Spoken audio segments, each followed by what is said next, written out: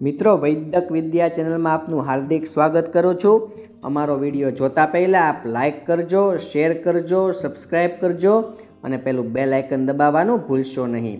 મિત્રો, આજે આપ સૌને પ્રિય અને કાઠિયાવાડીને તો અતિ પ્રિય એવા બાજરા વિશે હું માહિતી આપીશ કે બાજરો ખાવાના અનેક ફાયદાઓ છે. સામાન્ય રીતે જોઈએ તો બાજરામાં કેલ્શિયમ લોહ પ્રોટીન, કાર્બોહાઈડ્રેટ તેમજ વિટામિન એ અને બીનું પ્રમાણ હોવાથી તે શરીરના આરોગ્ય માટે ખૂબ જ લાભકારી છે. બાજરો રોગપ્રતિકારક શક્તિ વધારનારું છે. પ્રાચીન યુગમાં તો બાજરો જ ખવાતો હતો. તેથી જ એ યુગના લોકો સશક્ત, સ્વસ્થ અને એકદમ નિરોગી હતા.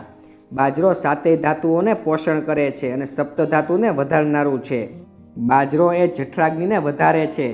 તેથી તેને અગ્નિદીપક પણ કહેવામાં આવ્યો છે. બાજરો ગરમ છે. તેથી તે શરદી, ઉધરસ કે સળેખમ કરતો નથી અને શરદી, ઉધરસને મટાડનારું છે. બાજો વૃક્ષ ગુણ એટલે કે લુખો ગુણ ધરાવે છે. એટલે શરદી, ઉધરસ અને કફના રોગોમાં તે ખૂબ જ ગુણકારી છે. લીલો બાજરાનો પોક, માખણ જેવો પોચો ખાવામાં એકદમ મીઠો. તે રોજ ખાવો જોઈએ. તેમાં કેટલાક તલ અને ખાંડ નાખી સ્વાદિષ્ટ વાનગી બનાવીને પણ ખાતા હોય છે. તેનાથી અગ્નિ ખૂબ વધે છે અને શરીર પુષ્ટ થાય છે. બાજરાનો પોક હૃદયને મજબૂત બનાવે છે અને શક્તિ પેદા કરે છે. તે સાતે ધાતુઓને પોષણ આપે છે. બાજરો ખાવાથી કાંતિ ઉત્પન્ન થાય છે એટલે તે શરીરના વાનને ઉજળો બનાવે છે. બાજરો ગરમ હોવાથી તે ઠંડા પ્રદેશના લોકોને વધુ માફક આવે છે. સામાન્ય રીતે બાજરામાં અનેક પોષક તત્વો રહેલા છે. બાજરાના રોટલા, ગોળ અને ઘી એ બાજરો પેદા કરનાર પ્રદેશનો પ્રિય ખોરાક હોય છે. બાજરાના રોટલા અને અળદની દાળ એ ગામડાનો પૌષ્ટિક અને માનીતો ખોરાક છે. ઘી કે માખણ ચોપડેલો બાજરાનો રોટલો તો ખૂબ જ મીઠો લાગે છે. વળી ઘી, માખણ, ચોપડેલો બાજરાનો રોટલો નાના બાળકોને ખૂબ લાભકારી છે. ભેંસના દૂધમાં બાજરાનો રોટલો ચોળીને ખાવાથી શરીર પુષ્ટ બને છે. બાજરાના રોટલા ઉપરાંત બાજરાની રાબ, ખીચડી, ઢોકળી અને સુખડી પણ બને છે. બાજરાના લોટમાં ગોળ અને ઘી મેળવી કુલેર બનાવાય છે. આ કુલેર એક ઇન્સ્ટન્ટ અને વિશિષ્ટ વાનગી છે. બાજરાના રોટલાને કઢી કે મઠ્ઠા જેવી છાશ સાથે ખાવાથી તૃપ્તિ થાય છે. એટલે કે આપણને સંતૃપ્તિ થાય છે. આપણે પેટ ભરીને જમી લીધું તેવું ફિલિંગ આવે છે. તેમજ સ્ફૂર્તિ પણ આવે છે. બાજરાના સેવનથી પ્રસ્તુતાને વધુ ધાવણ આવે છે. ઘઉં ખાવાથી તેને ચૂક આવે છે. એવી ચૂક બાજરો ખાવાથી બિલકુલ આવતી નથી.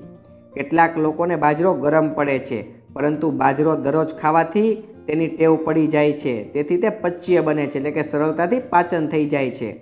બાજરો ગરમ હોવાથી ઘી, દૂધ સાથે ખાવો જોઈએ, એટલે આપણને બાજરો ગરમ બિલકુલ પડશે નહીં. ખાસ કરીને તે શિયાળામાં અને ચોમાસામાં તેનો રોટલો ખૂબ જ માફક આવે છે.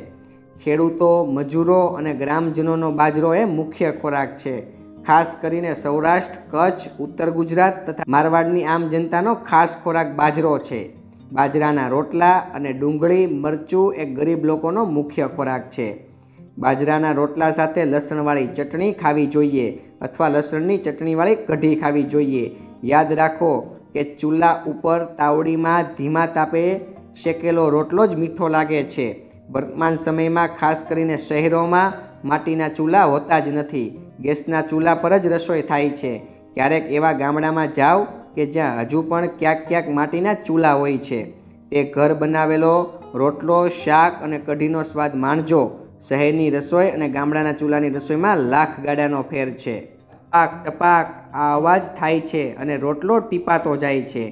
તેને ચૂલા પર તાવડી મૂકી તેમાં હળવેશથી નાખવામાં આવે છે. ધીમા તાપે રોટલાને બંને બાજુ શેકવામાં આવે છે. દેશી બાજરાનો રોટલો શેકાતો હોય ત્યારે તેની સુગંધ અલગ જ હોય છે અને તેની પોપડી ફૂલે છે અને તે કડકડીયો બને છે. આવો રોટલો ઉત્તમ પૌષ્ટિક હોય છે.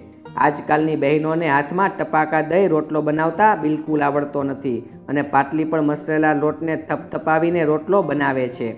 આવા રોટલામાં મીઠાશ હોતી નથી એટલે રોટલો ઘડવાની એક વિશિષ્ટ કળા છે. અમારું તો કહેવું છે કે મહિલા ટપાકા દઈને રોટલો ટીપે કે ઘડે તેના પરિવારને ટીપી જાણે એટલે કે ઘડી જાણે છે. તો મિત્રો, આજે મેં તમને બાજરો ખાવાના જે થોડા ફાયદાઓ છે, તેના વિશે મેં આપને માહિતી આપી છે અને બાજરો ખાવાથી આપણા શરીરને પણ અનેક લાભો થાય છે, તેના વિશે પણ મેં તમને માહિતી આપી છે. તો મિત્રો, આપને અમારો આ વીડિયો ગમે તો લાઇક કરજો, શેર કરજો સબસ્ક્રાઈબ કરજો અને બેલ આઇકન દબાવવાનું ભૂલશો નહીં. ધન્યવાદ.